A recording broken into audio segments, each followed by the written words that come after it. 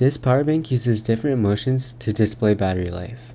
Today we're going to be unboxing and showcasing the Ugreen Nexode power bank. So starting this off with a little bit of info about the power bank, it does feature a 12,000 mAh capacity and 100 watt power delivery fast charge.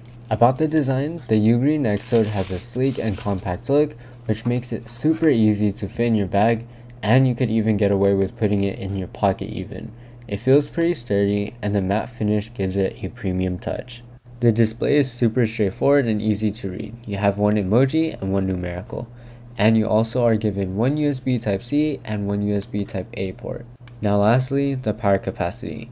This power bank definitely has a pretty decent charge capacity, however that is not its strong suit. I would say it excels more at fast charging. So for example, where it can only charge an iPhone 15 for about one and a quarter charges, it really shines through in terms of portability, convenience, fast charging, and of course, the design.